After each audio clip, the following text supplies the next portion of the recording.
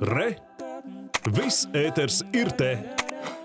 Divas dienas, 20 lokācijas, tūkstošiem cilvēku. Tā ir humanās palīdzības vākšana Ukrainai, kas biedrības labdarības lapa vadībā nu pat aizritējusi visā Latvijā. Cilvēku gatavība palīdzēt ir milzīga, taču svarīgi apzināties, kara situācijā atbalsts sniedzams centralizēti, saskaņojot ar valsts pārvaldi, nevis pēc savas iniciatīvas. Pretējā gadījumā labi domātais rada viena sarežģījumus. Pie ziedojuma Ukrainai nodošanas punkta Madonā viena pēc otras piestāja automašīnas. Tiek nestas kastes ar pārtiku, apģērbu un higienas precēm. Nu, kā varam, tā palīdzam. Es nevaru, man nu, neatļauj sirdsapziņa nu, klusēt, vai, vai palikt malā, vai palikt vienaldzīga. Nekādu pazīstamu un radu gan tur nav, paldies Dievam. Un, nu, ja šis ir veids, kā varam palīdzēt, kāpēc to nedarīt? Mums tur ir vecāki ģimene palika, ir satraukums liels. Brauktu paši, bet bērniņš mazs. Tētis jau plēšās uz turieni, taču mēs nelaižam. Ko mēs bez tēta? Labi, ka caur jums varam palīdzēt.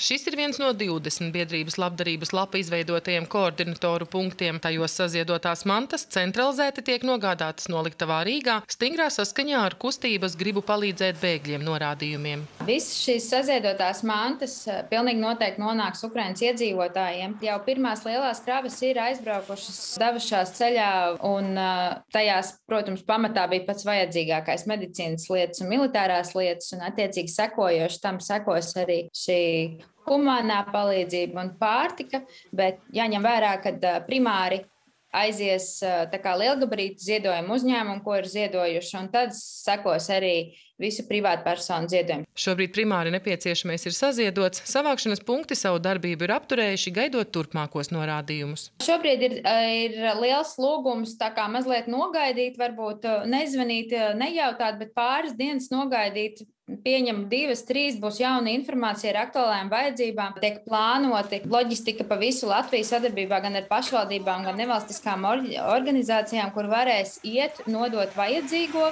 Tas ir viens no svarīgākajiem aspektiem, kas jāsaprot ikvienam, kurš vēlas palīdzēt. Visefektīvāk to varam izdarīt centralizēti. Visi ir aicināti nedoties paši uz savu galvu, uz Ukrainas robežām vai pat iekšā Ukrainā, jo tur nebūs neviena, kas konkrēti sagaida savāktot palīdzību. Šī ir kara situācija, un tādēļ visi cilvēki, visi civilie iedzīvotāji, tā skaitā arī nevalstiskās organizācijas, ļoti stingri darbojās saskaņā ar to, kādā veidā mums to norāda valsts pārvalde un vadošās institūcijas, jo viņi ir izstrādājuši, kādā veidā tas varētu tikt sniegts eh, dro, eh, droši, efektīvi un mērķiecīgi. Līdztekus tam ir iespēja ziedot naudas līdzekļus portālā Ziedot LV. Savukārt mantisko ziedojumu pieteikumu anketa atrodama viegli palīdzēt mājaslapā. Jāpiebilst, ka no rītdienas 2. marta sāks darboties informatīvais tālrunis palīdzību Ukrainai Latvijā. Tas darbosies 24-7 režīmā, informāciju sniedzot arī ukraiņu valodā. Sandra Zariņelvis Cāzars, Vidzemes televīzija.